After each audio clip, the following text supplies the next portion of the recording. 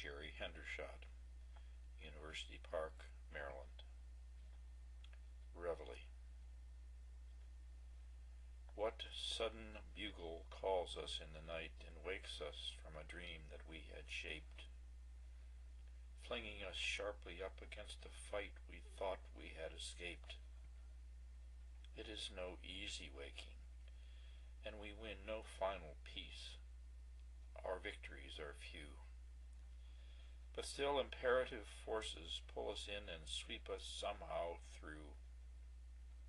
Summoned by a supreme and confident power that wakes our sleeping courage like a blow, we rise, half shaken, to the challenging hour, and answer it, and go. End of poem. This recording